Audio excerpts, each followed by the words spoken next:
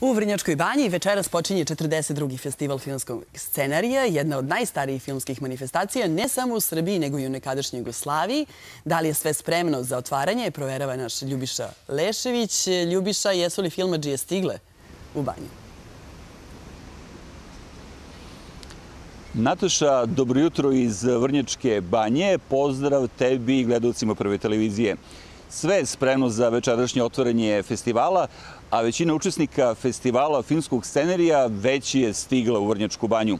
U konkurenciji za nagrade biće prikazano 10 filmova, gotovo čitava srpska produkcija u proteklih godinu dana, plus nekoliko filmova van konkurencije. Glavni deo festivala održava se na letnjoj pozdunici Danilo Bata Stojković, a već devet godina, nekoliko dana pre samog festivala filmskog scenarija, u banji se održavaju Batini dani u znak sećanja na legendarnog glumca.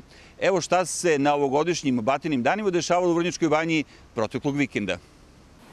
Vrnjačku banju, Vrnčane i banjske kafane Bate zavolao pre 30 godina i od tada redovno bio gost i po nekoliko puta godišnje.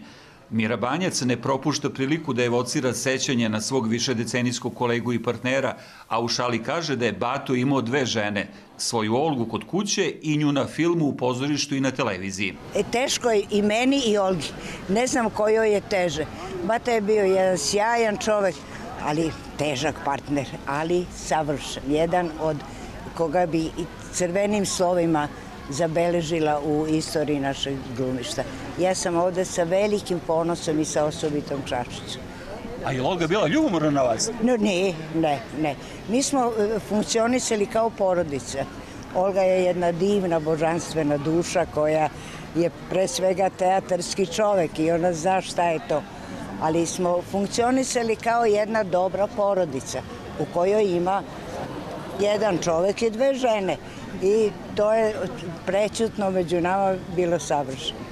Batu je redko davao intervjue, ali tu čast da sa njim razgovara više puta imao je novinar nekadašnje radio Vrnjačke banje Zoran Rajić, koji se i sada seća prvog razgovora. Prvi intervju je protekao što sam ja imao utisak da sam došao kod njega da polažem završni ispit u njegovoj klasi na Akademiji za pozorište, film, režiju i televiziju.